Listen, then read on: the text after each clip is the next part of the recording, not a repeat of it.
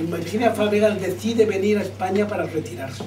Quiere estrenar una obra de un autor español y escogen la obra de la familia Carli. Se representa en Madrid y la siguiente representación fue en Zaragoza. Se dieron muy pocas representaciones porque ella volvió a México. Andrea Palmer era la que, llevaba ella precisamente la clásica segunda que antes existía en el teatro, solía ser una mujer muy guapa y bastante mala. Y, entonces esta es la que hace la gira. Andrea Palma eh, se ha enamorado de un actor, muy buena persona, un actor mediocre español. Y cuando se lo dice a doña Virginia, le dice, pero ¿cómo te vas a casar si no es ni siquiera primer actor? Doña Virginia, para que yo lo quiero primerísimo.